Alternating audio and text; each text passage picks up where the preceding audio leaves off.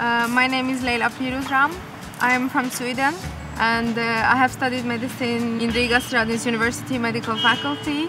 And uh, today is my graduation day and it's the last day of uh, my Riga time, you can say.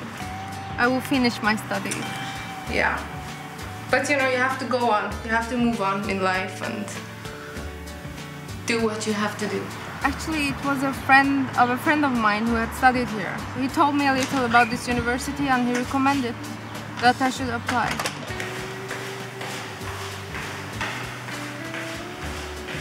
Of course, culture is different depending on where you come from. Attitude, people's attitude is different. University attitude is different. It's much more strict.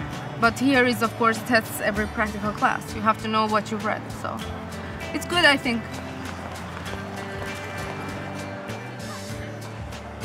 It's very serious level. Here it's very disciplined, so you're pushed all the time. For example, if you have a lecture today about something, next week you have to prepare the theme of this lecture for a practical class. So you have to know what you've studied last week.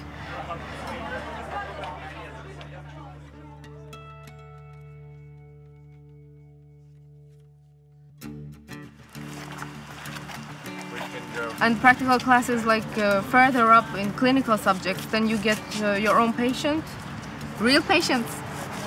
So you want to be a surgeon? Really? And your husband, you both will be surgeons? Mm-hmm. Don't do that.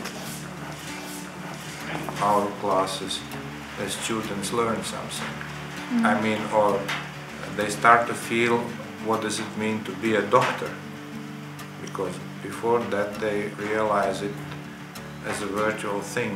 They have knowledge but don't know how to apply knowledge.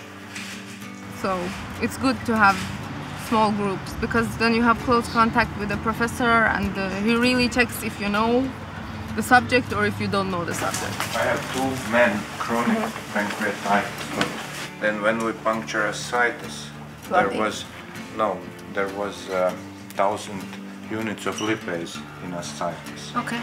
Of course, he has also portal hypertension. You have to take care of your patient yourself so you're kind of independent and then you come back and present to the teacher and there will be discussion what you did wrong, what you should do better next time. And for our group, every five students had their own professor. So it's good close work. For the students who are active and who are looking for surgery, we give possibility for assistance. It's, it's. I've assisted in real operations. Today is the fifth day. First and second year, I have a lot of studying. So first three years, you only have to study. And I have notes from my pathophysiology lecture classes where, where I've been like really tired of dozing off. So the handwriting is like up and down, you know, looks funny. But it's a nice memory now, you know. We had microbiology here. Basically, it's a study about microbes, so viruses, bacteria, and uh, fungi. You do, for example, gram staining to see what, which type of bacteria it is, and um, you look at pictures, but you also use microscopes and see things under the microscope.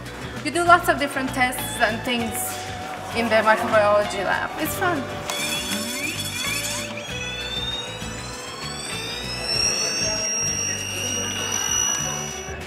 The transport situation is really good. Uh, you can either take the bus, the trolley, or the tram. We have to go to different hospitals all across the town. So it's good. I think it's good to live in the center because it's in the middle of all the hospitals. Most students live in apartments, at least uh, the Swedish ones that I know. The price range is uh, like 200 lats for if you live if you want to live really in the center if you share an apartment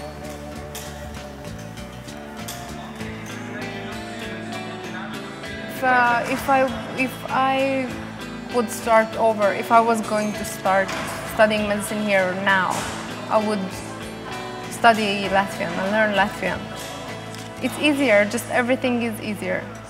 It's easier to have contact with people, your daily life is easier, not to mention the patients that you meet in the hospital.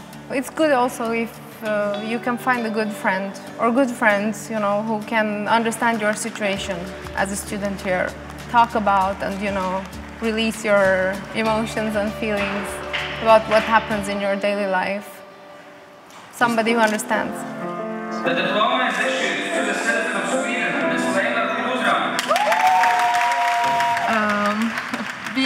Doctor. I think this is like a feeling that comes later, but I will start working uh, soon, like in two weeks. Yeah.